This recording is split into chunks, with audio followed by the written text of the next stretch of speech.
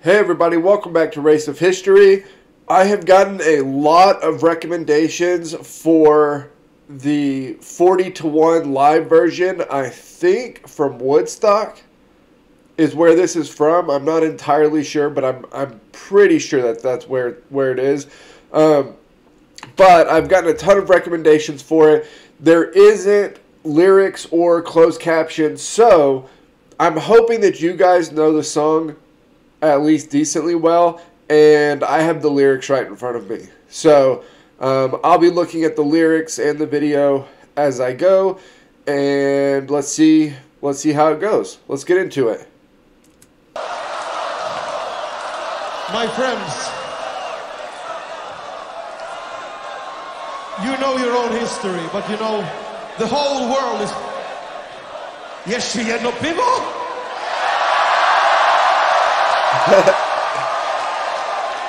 okay, I will drink once more with you, but I'm not gonna finish it because then I will be like that all the show.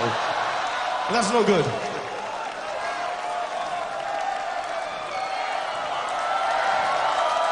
That's the logo.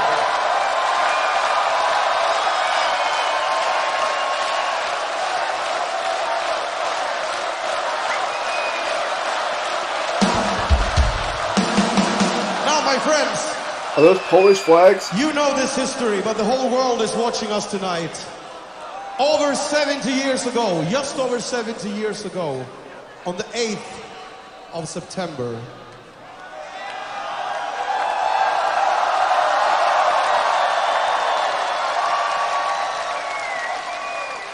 the German army came to Wizna.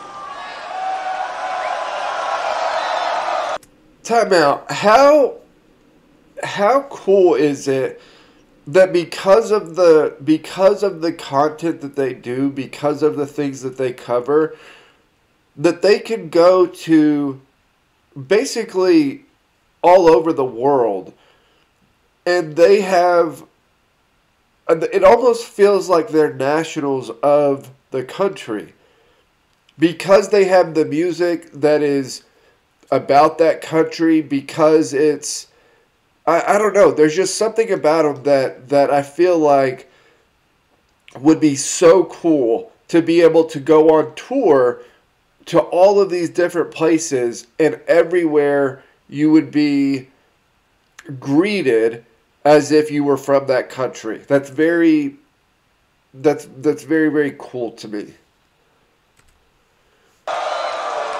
They were led by Captain Władysław Raginis. oh it's over the german invasion They were less than a thousand Polish soldiers. There were over 40,000 German soldiers.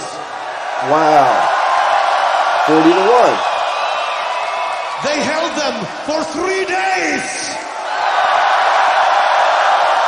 sorry for for those of you that may be new to the channel i get suggestions and recommendations for songs to listen to from sabaton. I have never heard these songs never heard anything about them so i literally just go to youtube find the song and, and turn it on um, and turn on the camera. So uh, for everybody trying to figure out like why i'm i'm trying to you know struggle and try to figure out what direction they're going to go with this it's because really all i knew coming into it was 40 to 1 so um, but yeah the german invasion of poland. That's awesome. And they're doing it in poland. And they were outnumbered. 40 to 1.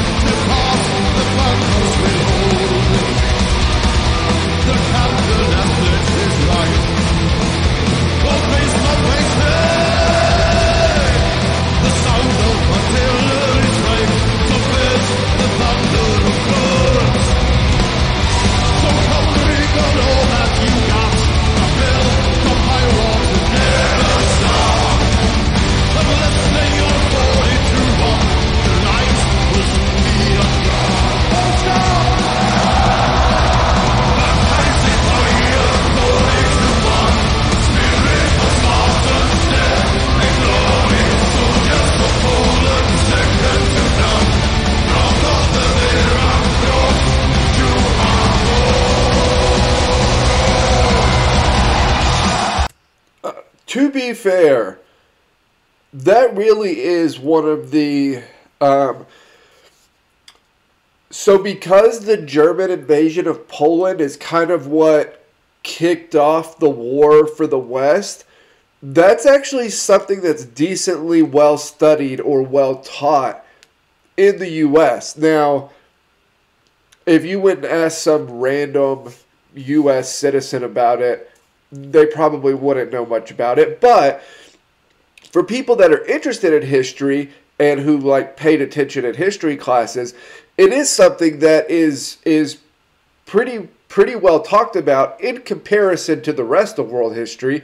Um, because it brings the West into it, and it really is kind of bizarre. I look at it similarly to um, how I look at the Winter War, because for all intents and purposes, it should be a bloodbath, right? Like, and not only should it be a bloodbath, it should be a a like steamrolling, like instantaneous German takes Poland, right? Like that's that's that's basically what it was all lined up to be.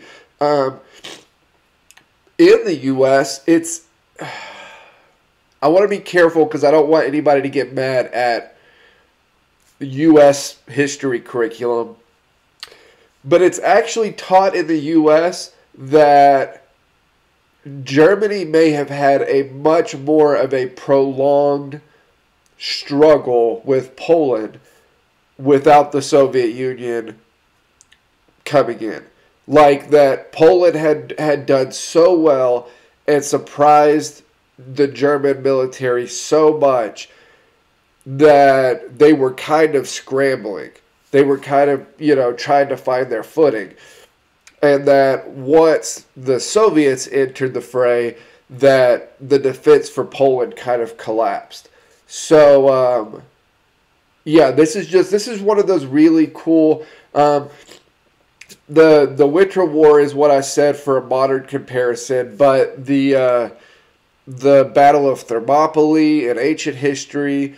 Um, you know, there's there's some of these instances throughout history where you have over overwhelming odds, and even if like in those scenarios, even if the the smaller number doesn't outright win, which obviously at Thermopylae that didn't happen either.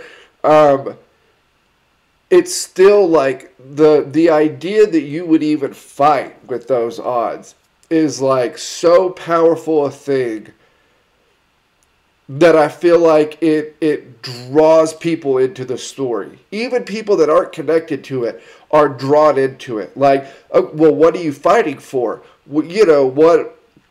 What's making you stand up against odds these big?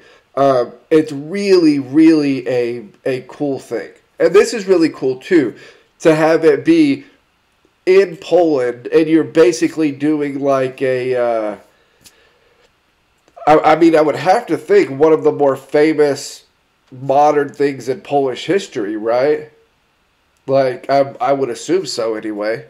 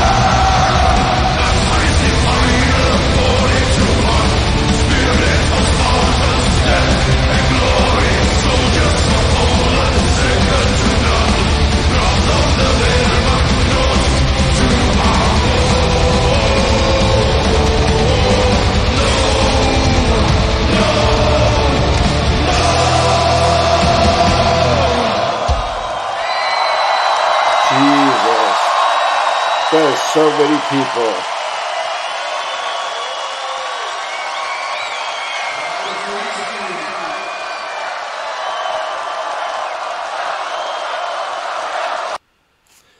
Okay, so that was uh, Sabaton's forty to one. I have a couple of things on on that that I, I want to get to. One, um, that was so many people. That was like I said. I feel like the atmosphere at their live shows has to be just incredible. Um, and yeah, there's the video for a lifetime of war right there. That's another just massive crowd. Um, but another one is it's it's interesting to me how because uh, the U.S. doesn't have like defensive sh- struggles militarily like historically. Um, Pearl Harbor, uh, I guess 9/11 could technically fall under there, though that's something that's a little bit different.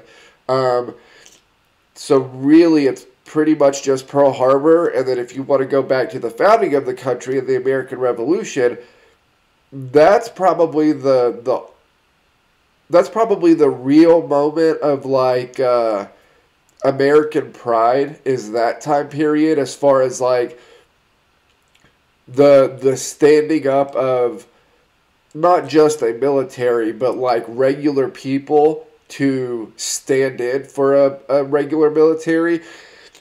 And looking at all of these different countries, and especially one like Poland, whose history is very checkered, right? They have had some some big ups and some real real bad downs. Um, as far as countries just kind of jacking their territory, you know. Um, and it's it's always so interesting to me to see how modern day people from those countries look at it and like kind of like the pride that they feel um i don't know that's just a cool thing because i don't really have anything to reference it to for the us other than the revolution but like the country was being founded then it wasn't like there was an america and then the British took it and then they took it back. Like the, the country was being founded at that moment. So, um, yeah, it's just something we don't really have over here. And it's really cool to, you know, to, to see you guys um, be proud of it, react to it. Like it's, it's a cool thing for me to get to see. So, um, yeah, that was another really good one. 40 to 1 by Sabaton. As always, like, comment, subscribe. Help me keep building the channel over here, and I will see you all next time.